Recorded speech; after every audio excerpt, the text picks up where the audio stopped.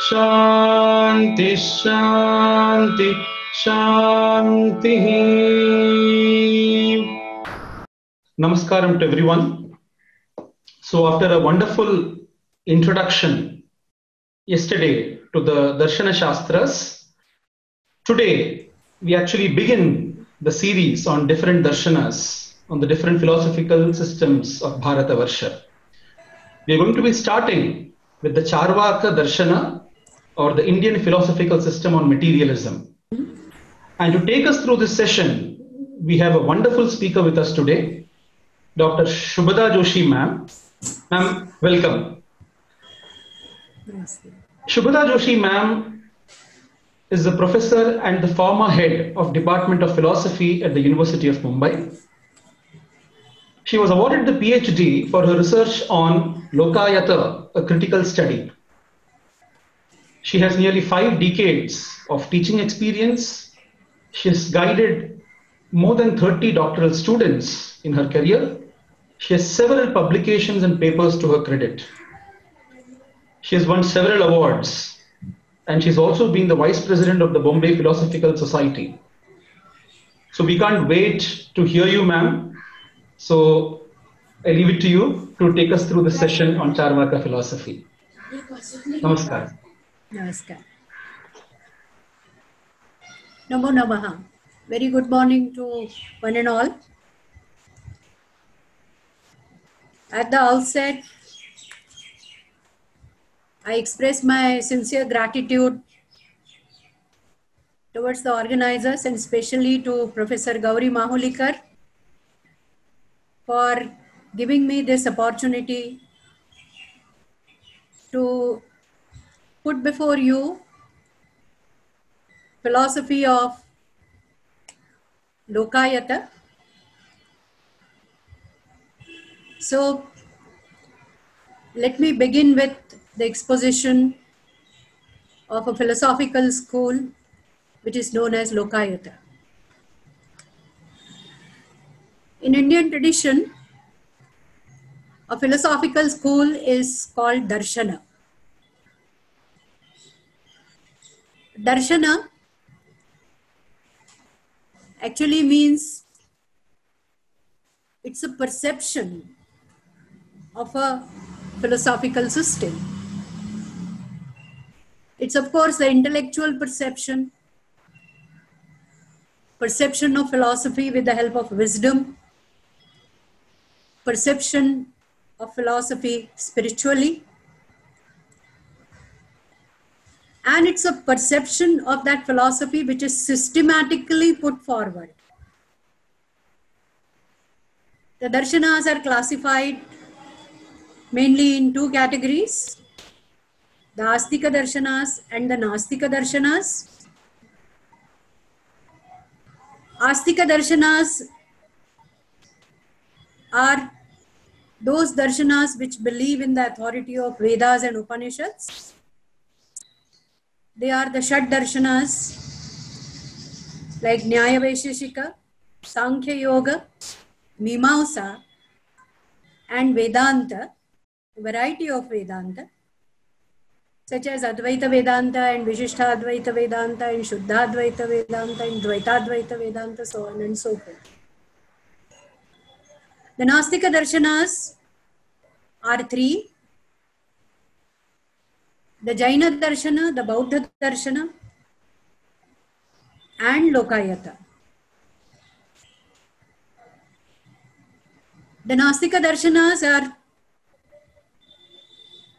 Veda Virodhi or they do not accept the Pramanya of Veda or the authority of the Vedas. So that is how the first classification we find of the systems of Indian philosophy. There is also another classification of Indian philosophical schools And this is given while commenting on Sarvadarshana Sangraha by Kashinath Shastri Abhyankar in his introduction, where he is not using the usual Astika Nastika classification, but he says that the systems are classified as Adhyakshika, Tarkika, and Shabdika. Adhyakshika, Tarkika, Shabdika. Adhyakshika is a system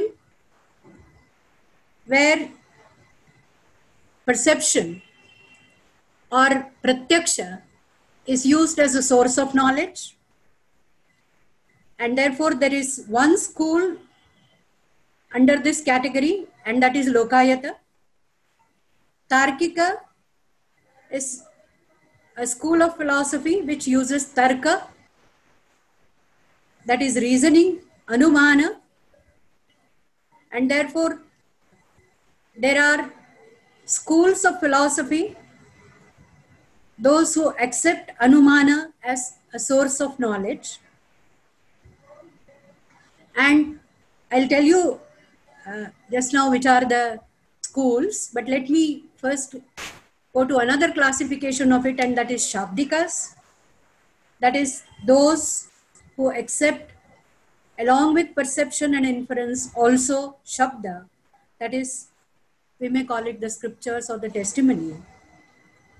Shabdikas according to sarvadarshan sangraha are mimamsa and vedanta. And adhyakshikas are lokayata.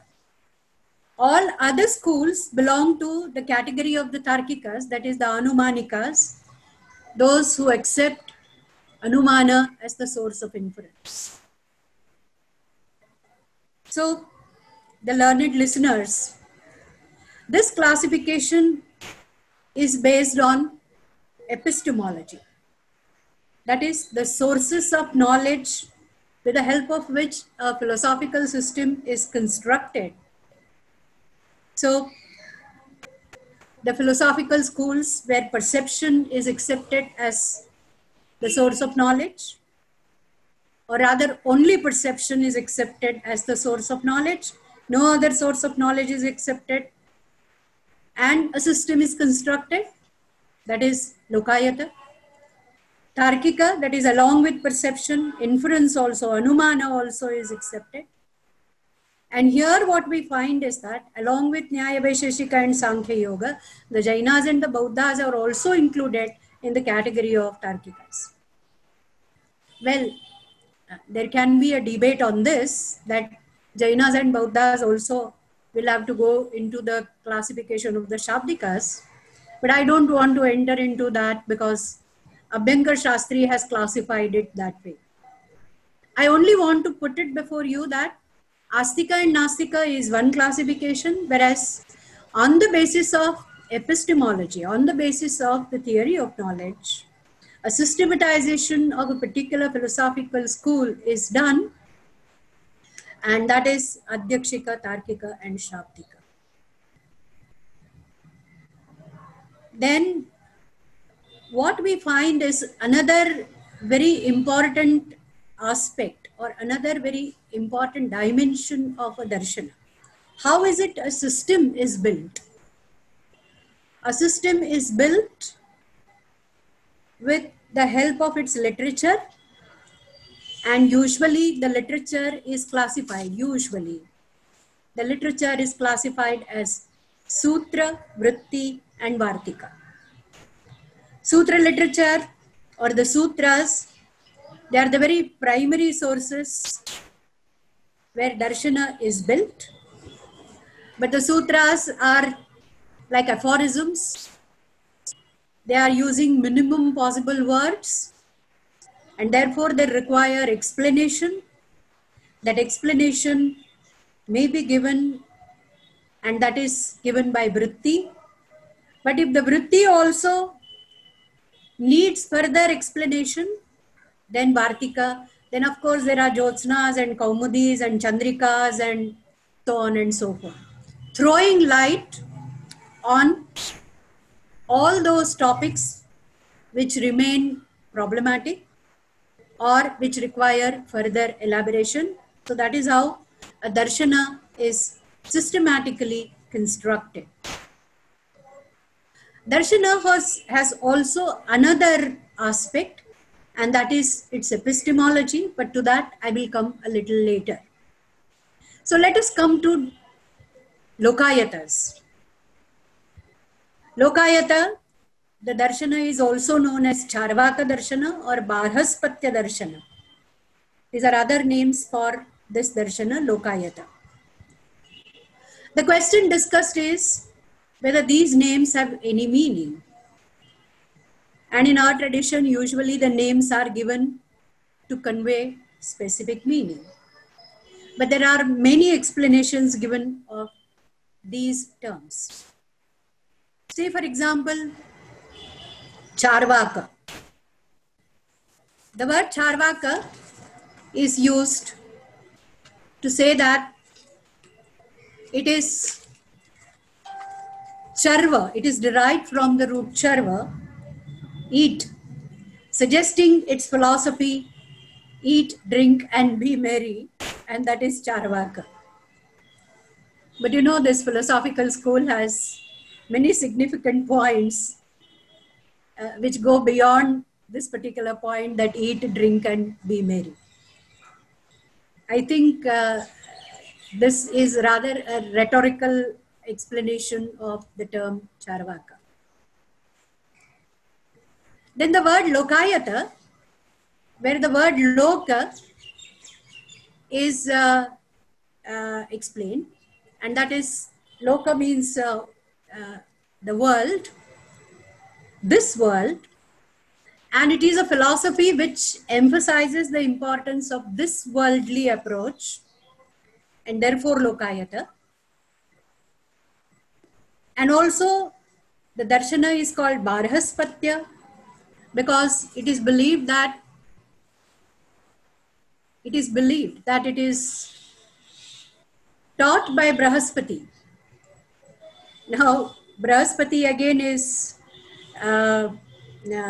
maybe historical figure or may uh, uh his mention is there as Deva Guru and still a philosophy which is put forward which is always uh, which is always called the philosophy of asuras. But this is just a way of calling name. Now let us come to i know that these etymologies or these explanations may not be really satisfactory but these are the explanations given now we may, will not uh, spend much time on explaining the term of uh, that, that is the title of the darshana itself. But let us go to uh, the literature of uh, Charvaka or Lokayata. It's rather unfortunate that there is no sutra, no vritti, no vartika available of this particular school. There are no references even of sutra vritti vartikas which are lost or which are not found or which were written, so on and so forth. The problem is to construct a philosophical system after Lokayatas with the help of the material which is uh, very, very scanty. Now, which are the sources?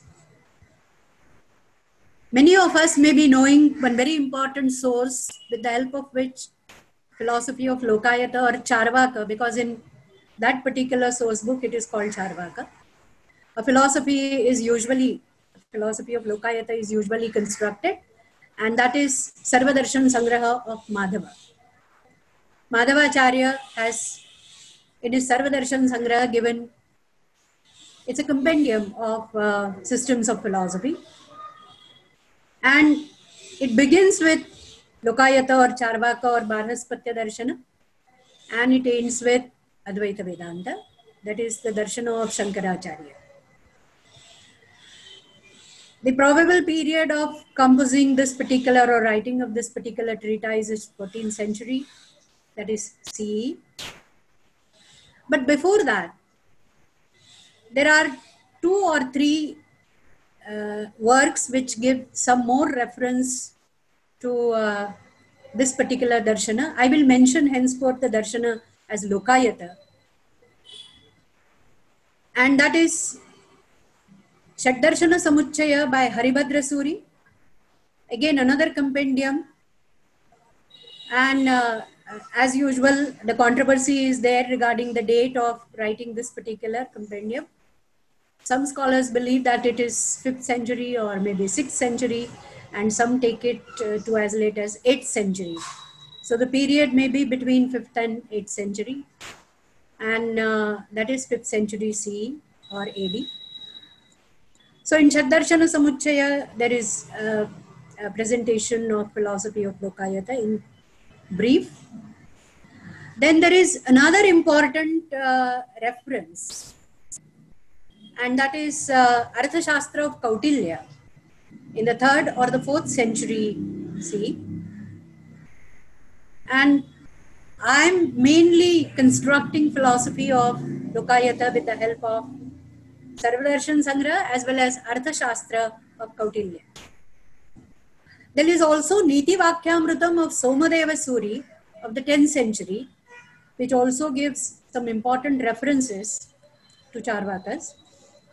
One very important reference occurs in Vanaparva Mahabharata, where Draupadi says that she has learnt about Barhaspatya from a Brahmin scholar who was there in the royal court of the Drupada, that is her father. So, we come to the philosophical school. The literature is really, really scanty. But all other schools have mentioned Charvakas or Lokayatas or the Barhaspatyas. The name Barhaspatya is very rarely used. It's either called Lokayata Darshana or Charvaka Darshana. And all schools, they begin with Purva Paksha of Charvaka or Purva Paksha of Lokayata.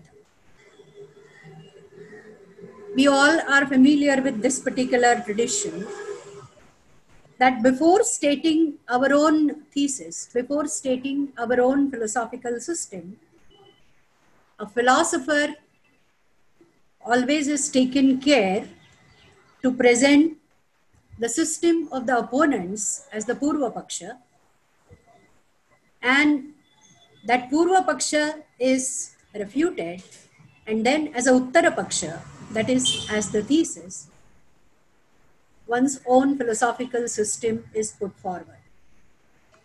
So, say for example, when in Sankhya Karika, the theory of causation is explained, Svabhavavada of Charvaka, that is the theory of causation which is called Svabhavavada of Charvaka, comes as a Purva Paksha in Sankhya Karika. So all such Purva Pakshas are also another source to construct a philosophical system of Lokayata or Charvaka. From Purva Paksha, Uttara Paksha tradition, we find that sometimes this empirical material, this worldly philosophy, I'll explain these terms in the course of my lecture, is taken seriously in order to establish a spiritual and a transcendental ethical philosophy different from that of Lokayata or Charvaka. Let me give you some important informations which are presented in in Kautilya Arthashastra, R.P. Kangle's translation and the footnotes given by Professor R.P. Kangle.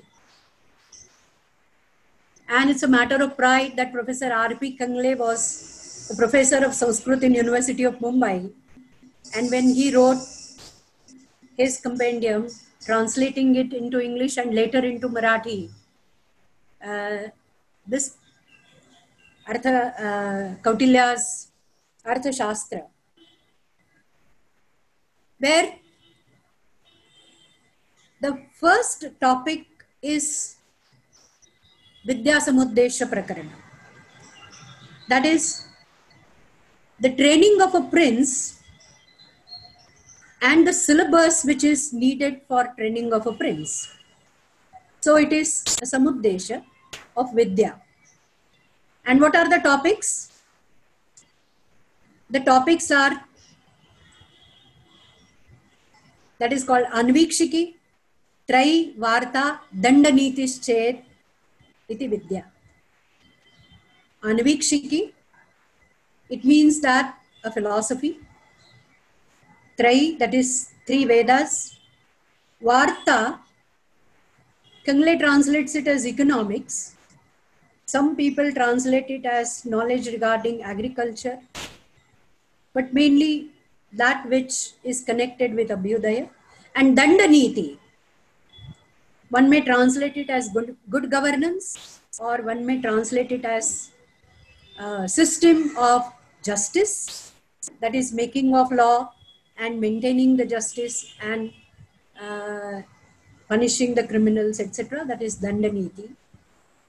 So it opens with Vidya Samuddesha and the very first topic, Anvikshiki, it says that Anvikshiki consists of, and the first mention is that of Lokayata or Barhaspati.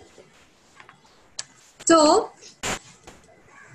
what is very important is that the footnotes which are given by Kangle, along with Lokayata Darshana, there are two other schools which are included as the topics for the training of a prince who is a would-be leader, a political leader, not only a social leader, will be a political leader having all power of making laws, maintaining law and order, controlling economic activities, blah, blah, blah. So along with Lokayata, Sankhya and Yoga is mentioned as Anvikshiki. No other philosophical school is mentioned as a part of syllabus for the prince. And the footnote is, and Kangle writes, this enumeration of the philosophical systems is very interesting. Kangle finds it very interesting because Lokayata is included in it and Sankhya Yoga, which usually is treated as Samana Tantra, is considered as two separate philosophical systems which are included in the coursework. So this enumeration of philosophical systems is interesting. Lokayata, it appears from the passage, once held equally honorable place and position. This is what Kangle's remark. Then he quotes a commentary and he says that here the commentator says Lokayatam Barhaspatyam. Lokaya Buddhim Tanoti iti niruktam. It means that it gives knowledge about the worldly affairs. Here the term Loka is used as this worldly affair. Even Somadeva's Niti Vakyamrita, it is said, Aihika Vyavahara Prasadana Paramam Lokayatikam. That is the this worldly approach of Lokayatika is categorically mentioned. Another very important reference which Kangle mentions in the footnote of Anvikshiki, that is the coursework for the prince, and that is Lokayato hi Raja Rashtra Kantakan Uchedayati. With the help of Lokayata philosophy, a king can take care of the Kantakas, that is the troublemongers, the troublemakers for the Rashtra, for the land which is governed by the leader. And he can eradicate, uchcheda, he can remove, throw them away with the help of knowledge of Lokayata. To that I'll come little later. But why is it that I mentioned these footnotes at the beginning?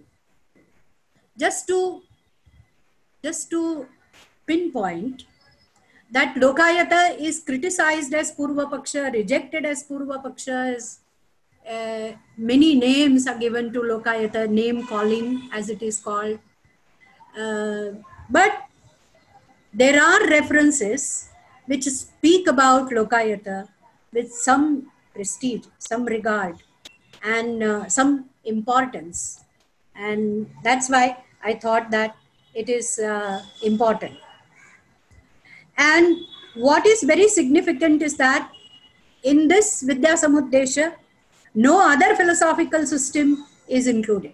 Say, for example, Nyaya, which is considered as the system which has laid down the foundations for logical thinking.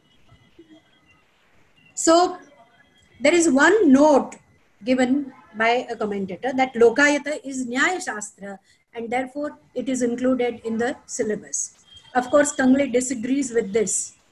But it is enough to note down that there was something, uh, there was some trend which considered Lokayata epistemology significant, important, and maybe the significant reason that Kautilya is including in Anavikshiki Lokayata or Barahaspatya or Charvaka as the very first philosophical school which should be the part of the training of the prince. And why is it that Anvikshiki is introduced? But to that I will come little later because I'm not talking about Kautilya's Artha Shastra. I'm talking about Charvaka. So let me come back to Charvaka again. When I will give a critique of Charvaka, I will mention its merits as well as demerits. And then again, I will go back to uh, Kautilya's Artha Shastra. So let us go to another aspect of a philosophical system. How a philosophical system is constructed. A philosophical system is constructed on the basis of its epistemology, having the following members. Prama, that is we may call it yathartha jnana, the knowledge which is, uh, I won't say valid, valid, because the concept of validity is rather alien to Indian tradition. There is nothing like pure form devoid of content in the Indian tradition, as it was argued by many of scholars, those who studied symbolic logic and Indian uh, philosophy. So, what is very important is what is very important is that it consists of prama. Then to get yathartha jnana, one has to have the sources of knowledge, the pramanas. And therefore, every system has pramanas. Then the sources of knowledge and yathartha jnana should be of something. And that something is the object of knowledge. And the object of knowledge is called prameya. And the whole activity will have a meaning only when the knower is there, and that is the pramata. So every philosophical system has the prama, pramana, prameya, pramata, and the system is constructed. Then it also has its theory of causation and it has its niti or niti shastra or its ethics. So let us let us uh, move in the direction to find out what is the epistemology of the Charvakas. Now, of course, it's a construct. And the construct, as I've already told you, that it will be with the help of Sarvadarshan Sangra of Charvaka, uh, sorry, of Madhava and uh, Kautilya's Artha Shastra and some other references which I have mentioned. So Prama is Yathartha Jnana. It is as it is, as the case is. So what is Prama? Prama is that knowledge which is obtained by the valid sources of knowledge. And therefore, let us come down immediately to Pramanas. And it is this particular school which accepts only one valid source of knowledge, and that is pratyaksha. Now, pratyaksha, it means that the knowledge which is gathered through or with the help of sense organs. Just not eyes, even though it is said as aksha, but it means that it is a knowledge which is gathered with the help of the sense organs. Now,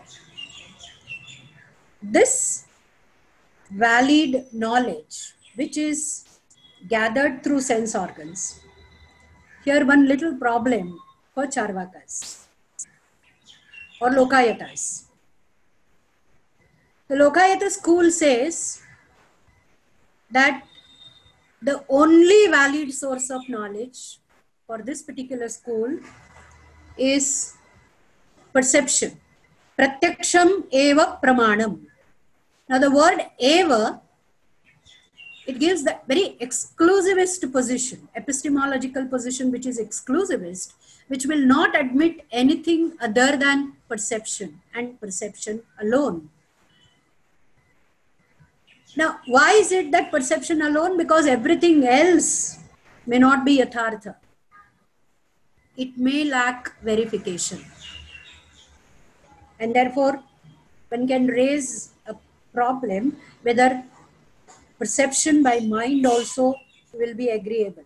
But to this, Lokayatas would say, no, we will agree that uh, to mind as uh, the indriya which is also there for pratyaksha.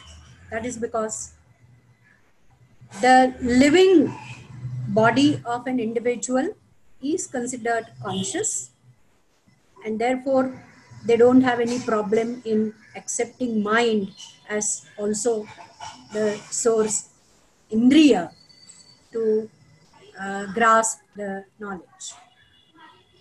So pratyaksha is the only source of knowledge and no other sources of knowledge are accepted. Now, which are the other sources of knowledge? I will not go into all other sources of knowledge, but I will say that at least two other sources of knowledge which are considered along with Pratyaksha are Anumana and Shabda. Anumana, that is Tarka, inference, it is logical reasoning, it is argumentation. But Anumana, as inference, is not accepted by the Lokayatas. I'll come to it just in a, a few minutes, a few seconds. Shabda also is not accepted. Now, why is it that Anumana is not accepted? Now, in the given uh, uh, timing, um, I won't be able to explain to you the entire epistemology, but you will understand it once you uh, know about Nyaya philosophy because in Nyaya philosophy, uh, the avayavas of Anumana and uh, the Vyapti relation and the relation between the major and the minor, etc., will be explained. But I will say only this much that when we draw a particular inference, say, for example, a very popular example which is given in the schools of Indian philosophy is that Parvato Vanniman. Having observed the Dhuma and having realized that there is a universal relation, the Vyapti relation between uh, fire and the smoke, and having found out that there is a smoke on the fire, the smoke on the fire is observed uh, from at a distance. The, the, the person who is perceiving is not near or is not on the mountain, but is perceiving maybe from somewhere else. And because of the relation between smoke and fire, that yatra yatra dhumaha tatra tatra vanni, that wherever there is smoke, there is a fire. On the basis of this universal proposition, this universal true statement, a conclusion is drawn that since there is smoke on the hill, that is Dhumaha on the Parvata, there also has to be Agni and therefore Parvato Vanniman is the inference drawn. And there are conditions laid down that the conditions and the relation between the smoke and the fire is the relation of vyapti. That is, wherever there is smoke, there is fire. Smoke pervades fire. It is this relation of vyapti which is called sahacharya. That is the association between the two. And it is believed by the other schools that this sahacharya is sarvabhauma, universal, avyabhichari, without any change. It has no upadhi, that is without any conditions. It is nitya, it is always, it is sadaiva. To this, the objection is raised by the Lokayatas. And they say that all these conditions which justify the relation between smoke and fire, that is the Vyapti relation on which that inference is based, these cannot be verified by way of perception. Say, for example, Sarvabhaumatva. How can we say that it will be Sarvakalika? How can we say that it will be Sarvadeshika? Because we are not able to perceive it. We are not able to perceive even exceptions. And therefore, such Vyapti itself is untenable that vyapti, which is really the backbone of inference, will not really stand, and therefore we will not accept anumana as the source of knowledge. So, what is not possible is the nishchayatmaka siddhi of vyapti. That is, that there is no definite proof for the association between paksha and sadhya. That is the association between, to make it very simple, uh, the association between the smoke and the fire, there is no uh, certain definite proof as all this is beyond perception. Now the same problem is there in the Western empirical thought. Now what, let me, what uh, the position of Charvakas, let me state it, that pratyakshameva pramanam is a very, very empirical position taken by the Charvakas. And the problems faced by modern empiricist thinkers are the same. They also find it very difficult to justify the inductive leap. That is the leap from the known to the unknown and the belief that the unknown will be like that of the known. Karl Popper, one of the very important Western philosophical uh, scholar, he calls it as the problem of inductivism. Now, with this, generalization becomes a problem. With this, even progress of science and technology, because all scientific generalizations also are threatened. But this is what the Lokayatas say. Shabda also is not agreeable as a as an independent source of knowledge because how Shabda is defined? It is defined as Apta Vakya. And who is Apta? Who is Apta? Is a reliable source.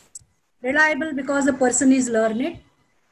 It is believed that the person will not make any errors and the knowledge which the person has is a true yathartha jnana and therefore may be believed.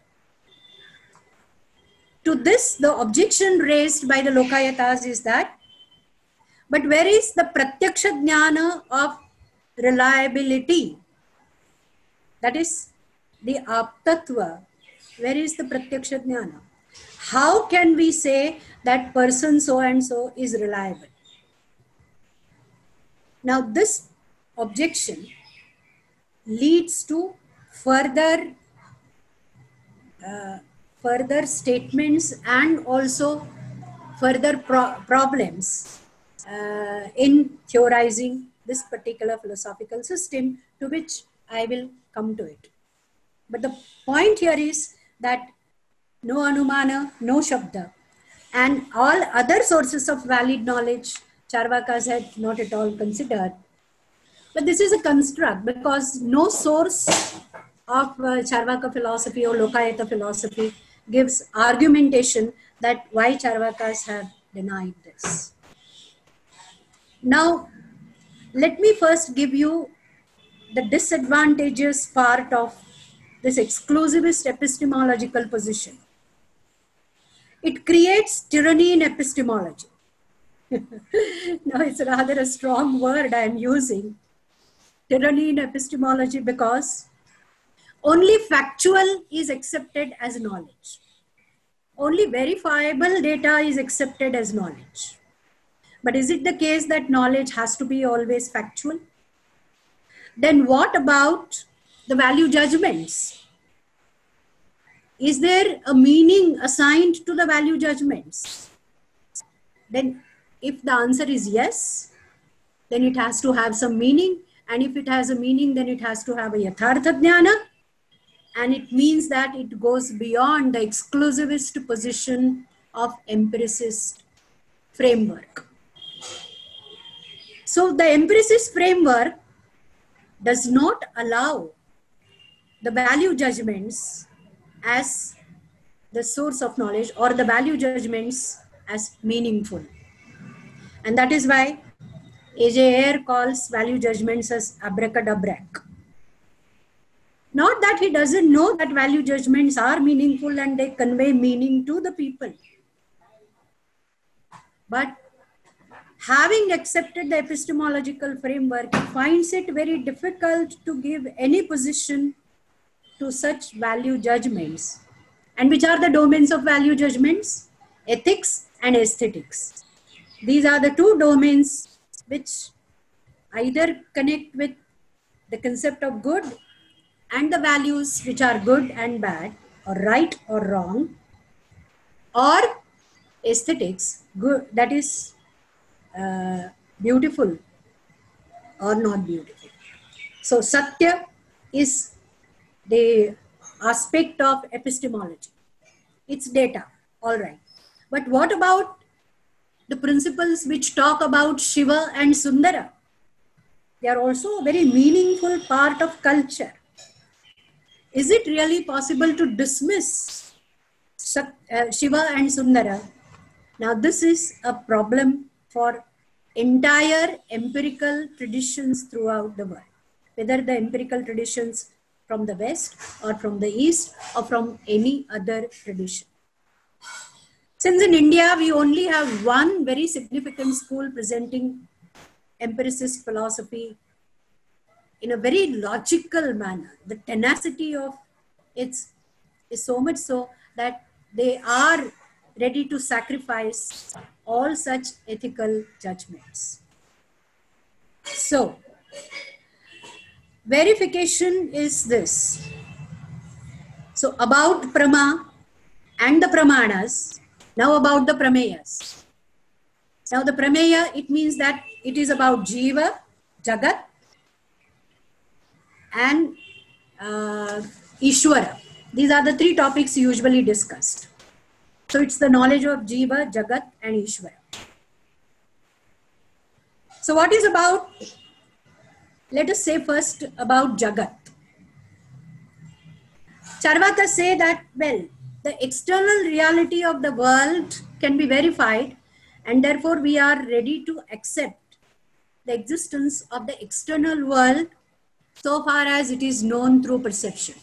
But what is not acceptable to us is the idea of Ishvara as either the creator of the Jagat, that is, we may call it the world or we may call it the universe, we may call it Srishti, or Ishvara as the creator of the Jiva, that is the, the conscious principle which inheres in the body which may be self or Atman, and within the body, this is called Jiva.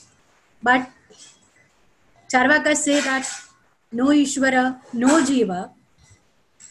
That is because the place of Ishvara is given to a combination of the four bhutas. And Charvakas do not accept Pancha Mahabhutas. Akasha is not accepted by Charvakas or Lokayatas because Akasha is not uh, the knowledge of Akasha is not possible by perception.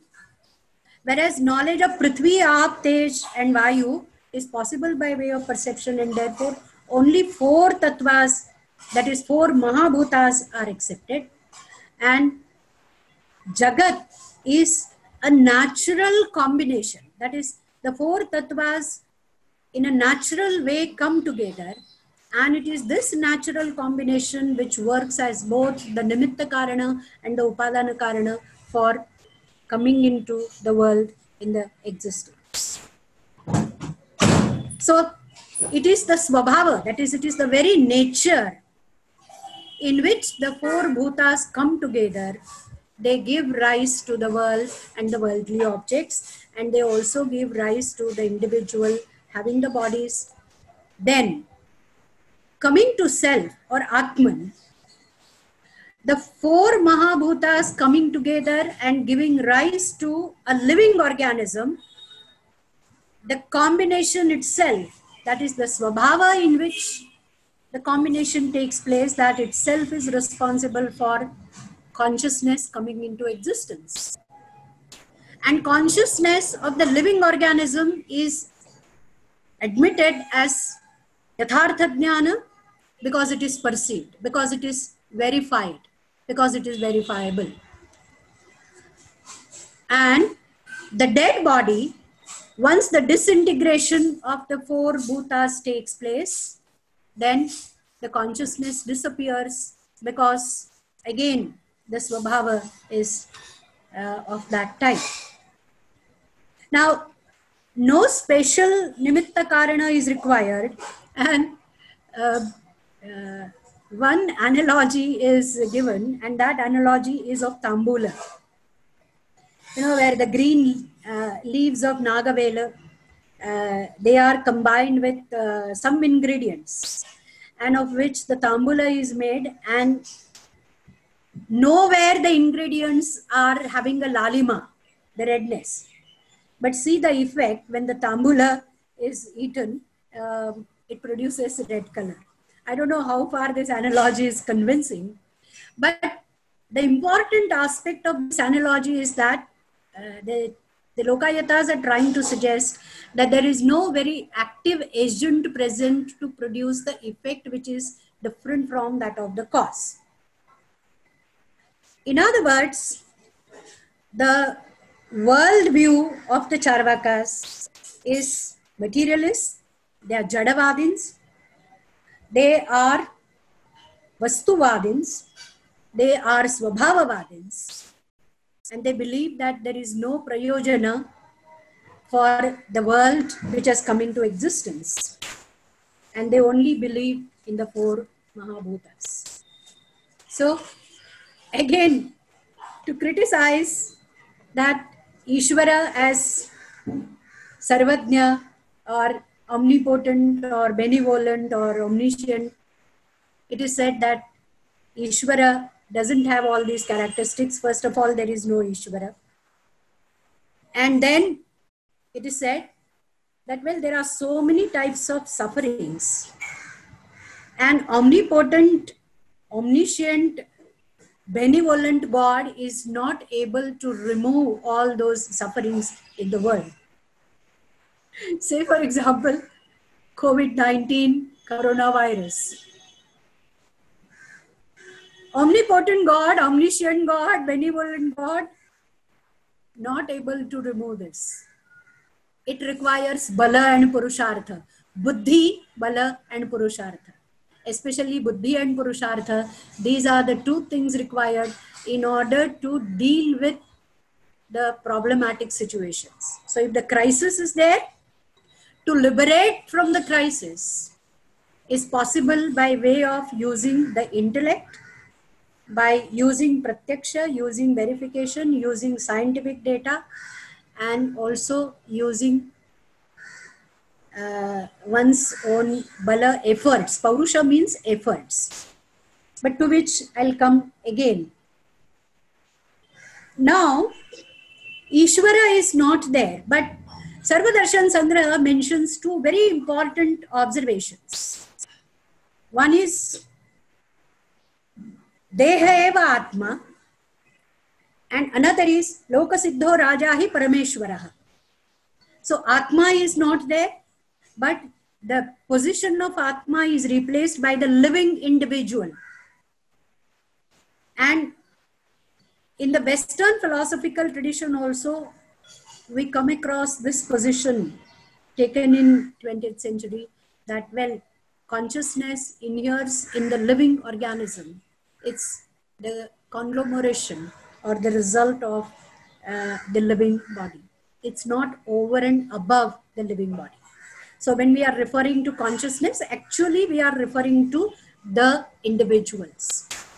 A philosopher called Strawson, uh, his uh, philosophical position. But of course, I'm not going into that. I'm trying to just mention that uh, similarity. So, Deha eva Atma. It is Dehatmavada. And uh, this is very interesting. Lokasiddho Raja hi Parameshwaraha. Now, this I will uh, uh, connect when I will come to uh, Lokayata account in, in a few minutes. I'll come to it. Lokayata account in. Ma'am, uh, actually, we just have about 10 12 minutes. Yeah, I will. I will. And then uh, uh, Lokayata ethics, it is uh, completely out and out hedonistic.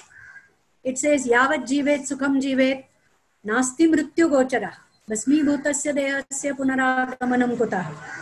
that is once burn to ashes there is no coming back and therefore the little perverted version of it again comes in Sarvadarshana Sangraha यीवे सुखम जीवे तृणम कृत्वा घृतम because भस्मीभूत देह से पुनरागमनम कुतः uh all critique of uh, uh, sukhavada or uh, hedonism also is applicable to uh, Charvaka. But I, I will come to uh, now the merit part of Lokayata and then I will go to the demerit. Because Lokayata is a system which is denounced as uh, the materialist, denounced as uh, uh, pleasure seekers and uh, Nastikas and uh, Bhanda, whatever names which are called by Lokayatas for the Vedikas as Bhanda Durta Nishachara, the same name calling is used for Lokayatas. So why perception is important as the source of knowledge? Because it is pro-science. The critical thinking and the critical outlook is responsible for the material progress. That is, it is responsible for the progress in science, progress in technology. In ancient India, probably what we find is that progress in Kagola, Bhugola, then uh, Ganita, Ayurveda, uh, then uh, also uh, the applied part of it is Panchanga. Now, many such uh, incidents can be uh, quoted. What is very important is that progress and thereby wealth creation is possible by this particular pro science approach taken. And therefore, this is very important part of Anvikshiki, where this Anvikshiki enables the leader to discriminate between Artha and Anartha. What appropriate economic policy is to be adopted or what appropriate policy for the material progress to be adopted. This is what Kangle translates it. Then it encourages uh, it encourages uh, the abhyudaya. What we find is that there were uh, many such uh, uh, pro-science, pro-technology activities which I had mentioned, and uh, we get many such accounts like Sushruta and so on. Vastu Shastra is there, and Ayurveda is there in the modern world also what we find is uh, the science and pro-science and pro-technology approach. Importance is given to data, interpreting data, analyzing data, use of technology, so on and so forth. Another very important note is Lokayato hi Raja Rashtra Kantakan Uchchedayati. It means that holding danda in a very effective manner, that controlling crime, security of the citizens, and then also security about, uh, uh, around the borders. Charena chakshuhu, that is the spies. All this is possible when pratyakshameva pramanam is accepted. And critique of rituals, that is the hedonistic position rejects uh, dharma, it rejects moksha, it actually is rejecting the ritualistic part of it. And therefore it says no God, no karma, no rebirth, no atma, and therefore there is no papa, there is no punya, there is no svarga. And there are, there are only two purusharthas, artha kamo hi purusharthas, and therefore rinam kritva ghritam pibet. Now rinam kritva ghritam pibet actually is uh, accepted in the modern world also. But now let us come to the demerits of it. In the modern world also, we take rina, we, we, we take rina and then uh, uh, that is not considered as uh, something which is unethical. Provided we return the debt which is taken. Now, the unfortunate part of it is that the hedonistic ethics with uh, taking rina, denying any responsibility is a dangerous situation. And therefore, what is really important is the use of reason and also the use of wisdom, even though it lies beyond perception. And that is why in Anvikshiki, Kautilya gives importance to Lokayata as the very first school, but along with that, he uses Sankhya, which is using reasoning or Tarka, and also Yoga, which emphasizes wisdom. And then he says that it is such the use of Anvikshiki, which is used by the leader, is responsible for overcoming the calamities and the problems and it is this which actually for giving right appropriate judgment and it helps the leader to prosper in his uh, in his leadership uh, the entire uh, rashtra or the uh, entire domain which is governed by the leader becomes prosperous so here is an attempt to give a critique of Lokayata.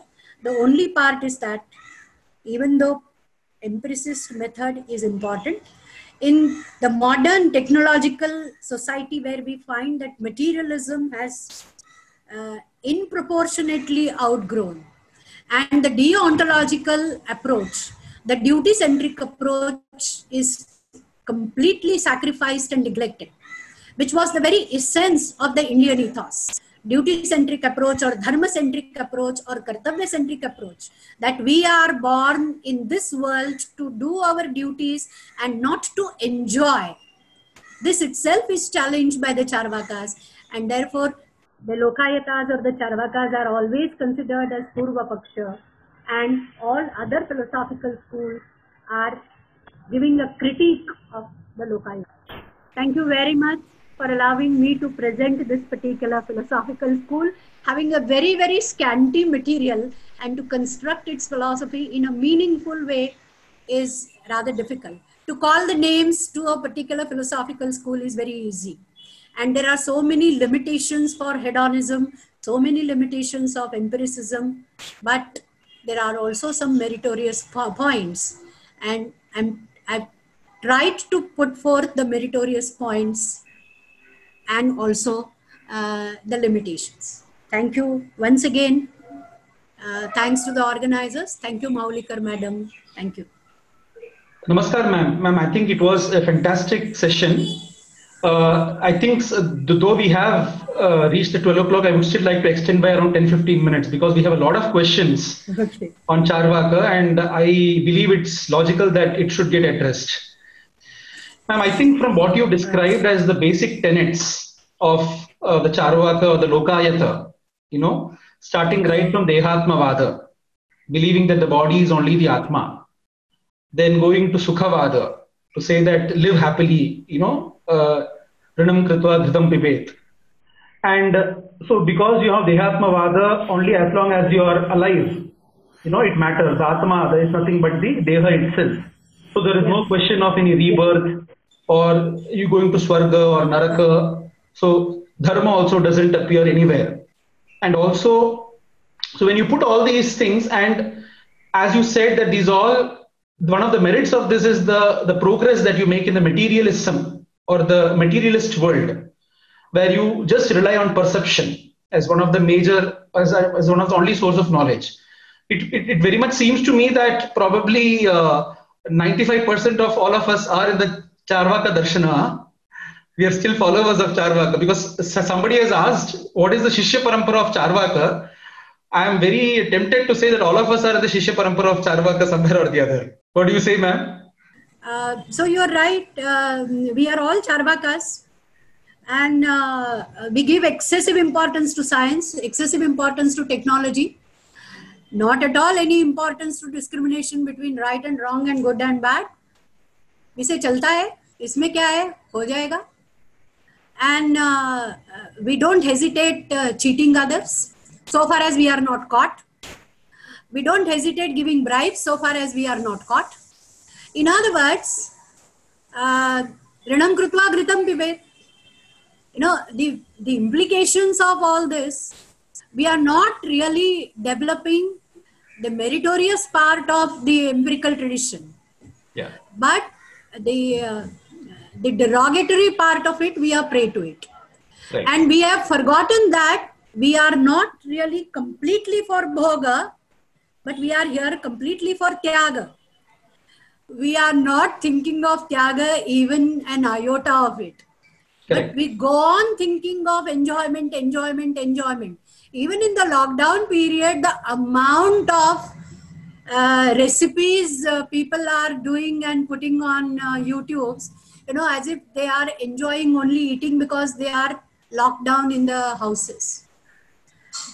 No, Right. and you, we, one can go on uh, Yeah. doing this, but we, we are, we are really materialistic. We are very self-centered. That is the bad part of it. There is nothing wrong in having enjoyment because a grahastha is permitted to enjoy, but a grahastha is also asked to donate, to sacrifice, to take care of others. Because a grahastha is a sheet anchor. Grahastha has to take care of the society and the interdependence dependence of the social systems on the family. But if the family is not taking care of the social systems, institutions, Right. and on the contrary, family is trying to squeeze from the other social institutions, Correct. then how the social institutions will uprise? And as you rightly said, ma'am, because they have taken Artha and Kama as the main Purusharthas and Yes. the Dharma is completely missing in the entire scheme of things is probably what, what leads to this. Yes. And there's another question. When we speak about Pratyaksha Pramana is the only thing that they believed. Yes. Uh, isn't Pratyaksha Pramana also flawed? Like many times what we see is not the reality or what the, the senses perceive is not in the truth. So is the, uh, the sense of perception, isn't it flawed instrument? Yes, it is. Uh, it, there is a lot of philosophical discussion uh, right in the Indian uh, tradition as well as in the Western tradition, Hmm. uh, which talks about limitations of pratyaksha. And uh, I would have counted all those limitations of pratyaksha, but then the main topic would have remained. Yeah, yeah, yeah, But correct. Right, you are. Pratyaksha is not every time correct. That is why empiricists will emphasize verification of it. Hmm. Any any error in perception, they will say verify. Right. There may be the error in verification. Then it is not yathartha jnana. So they will not allow any fraud in perception. Right. But there is a possibility. There's a possibility. But also, ma'am, what I see is, um, you know, even as you enumerated the merits, there is always a merit in uh, adopting pratyaksha as the pramana for many of the things. Otherwise, you might start hallucinating or imagining too many things Right. which are not real. So you will stray away from reality. So pratyaksha pramana has its own place, and especially as you said, and uh, based on the inputs given by great scholars like R.P. Kangle and all, that it has definitely led to the growth of materialism and what we see as science and technology. I think all of them have been based somewhere or the other on this philosophy of seeing something and seeing the proof of things, which is based on science. So here, ma'am, the, yeah, sorry. The, only the only uh, problematic uh, area is the word eva. Hmm, hmm. Pratyaksham eva pramanam. That is the problem. Right, right. Yes. Ma'am, uh, as you also said, you also mentioned during your uh, discussions also about the, the strong critique they do to the rituals, the karma. I think this has been a very strong um, a critique that has happened against the Vedic rituals, right? Like we even we have heard very, uh, as you speak about the analogy, like you do tarpana to the ancestors, and if the water can reach, then the travelers also will do tarpana, and the travelers can get water. Yes. You know these kind I, of I, I did not mention that because they are so famous and so popular. yes. Uh, they are so well known. But uh, yes, Trayo Vedasya Kartaraha Bhandadhurta Nishacharaha. correct correct so actually it's like uh, saying that all uh, you guys who are wearing this rudraksha or putting this nama and all you're doing it for the sake of your livelihood there is nothing beyond livelihood you're all doing it for that sake Well, it has some truth in it. You know, uh, it is very difficult to discriminate uh, uh, who is authentic and who is not authentic. right And uh, therefore, but you know, it is like uh, discarding uh, the bath water along with the baby.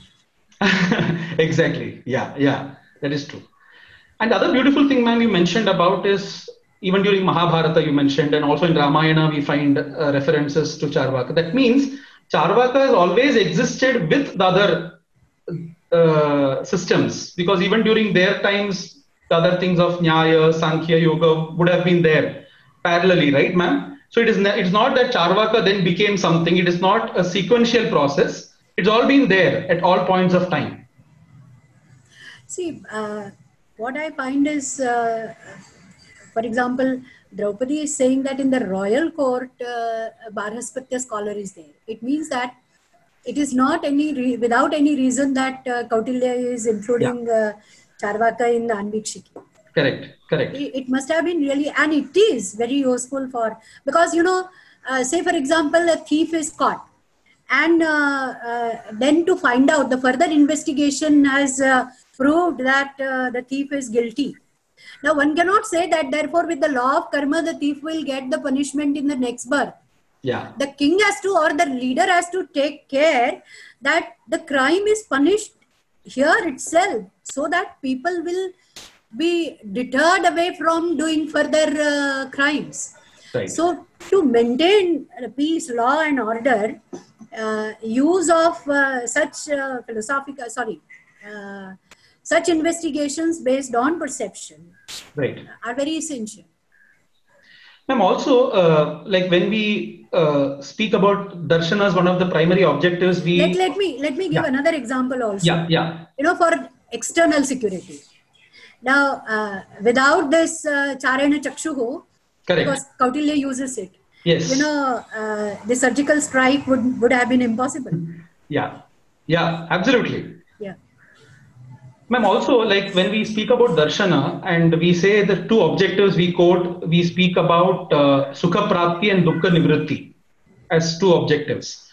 But many times in Charvaka, we find that it always comes mixed, right? So they don't necessarily try for 100% of dukkha. Like, for example, the other uh, schools, they speak about liberation or moksha as ultimate sukha prapti. Yeah. But Charvakas, they don't accept that form. They say that fine, if you have pleasure and pain, it's okay together.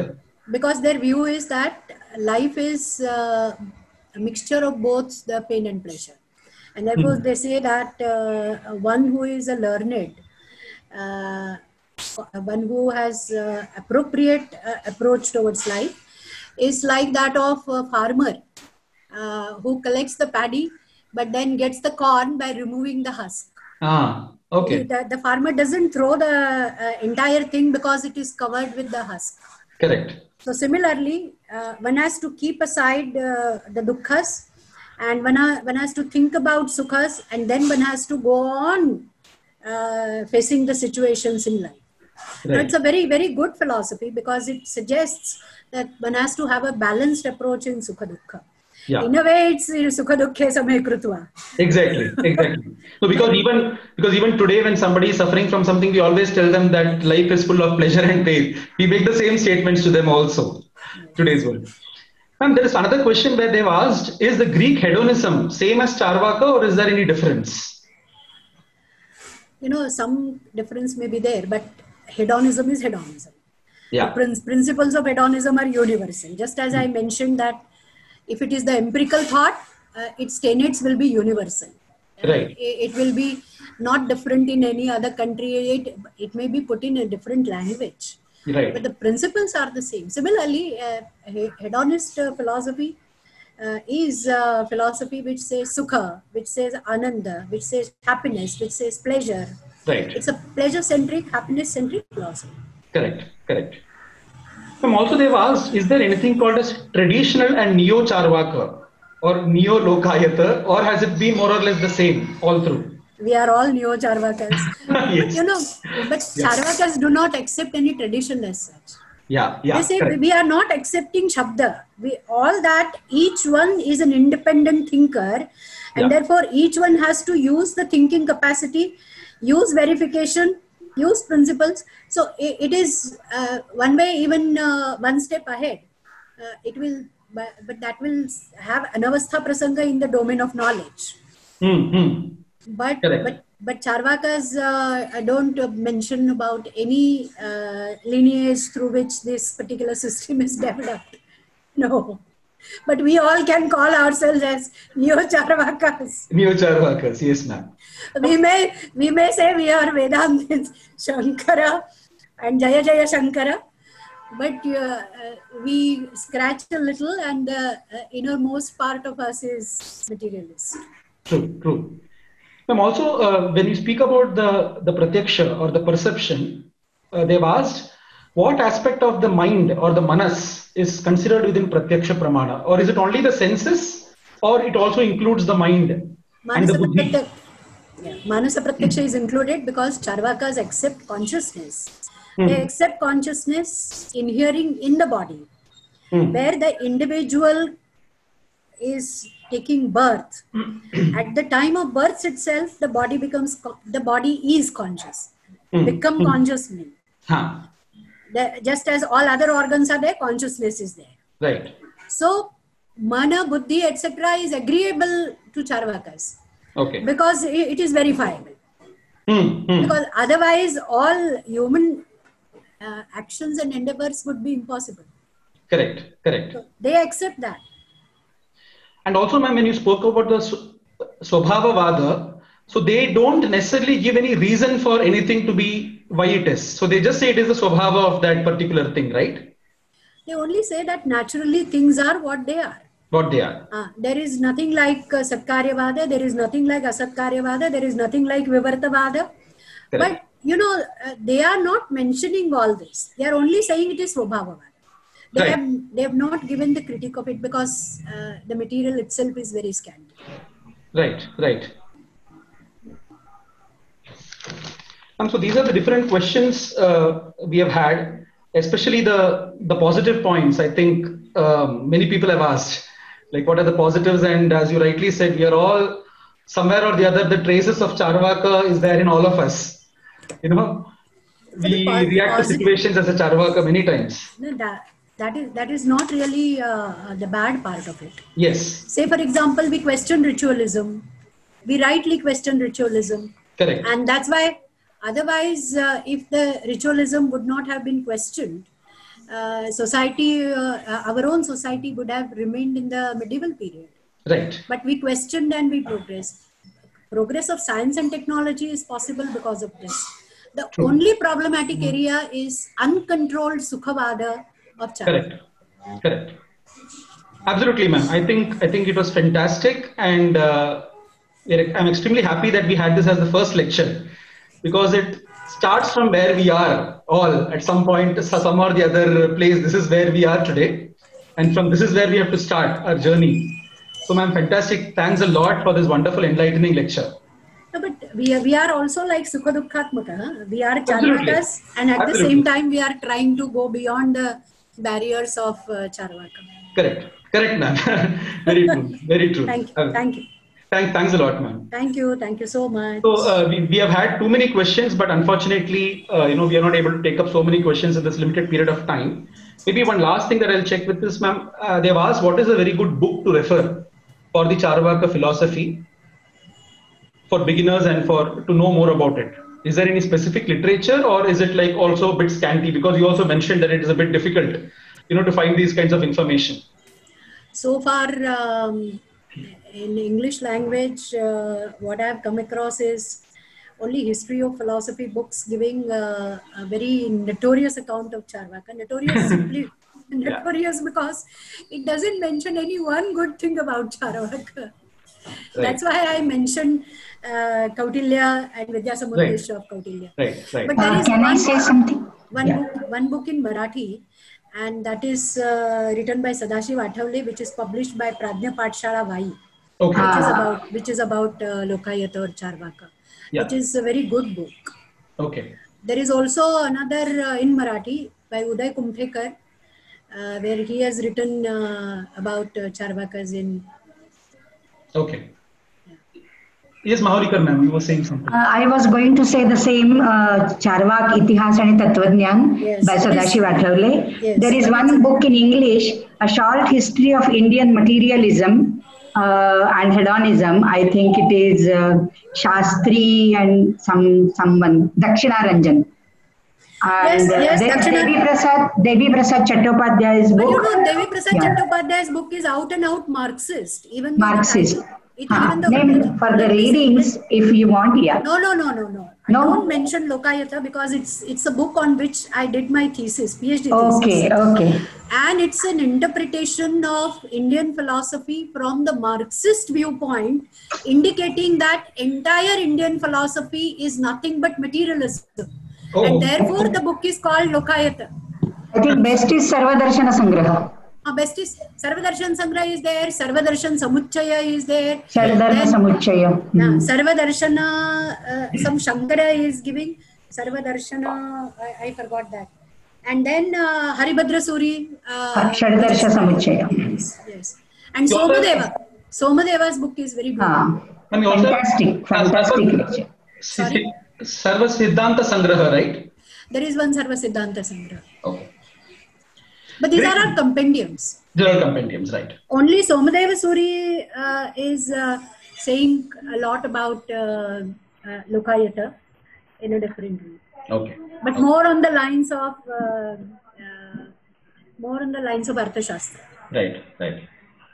Great, ma'am. I think it was fantastic. Thanks a lot for this enlightening lecture. I hope all of you enjoyed. Thank you so um, much. Listeners. So fantastic, ma'am. Thanks a lot. So we'll end with a short Shanti mantra.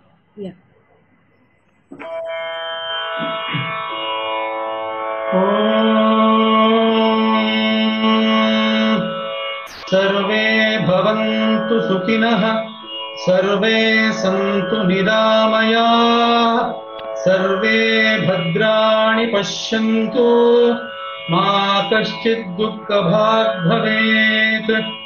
Om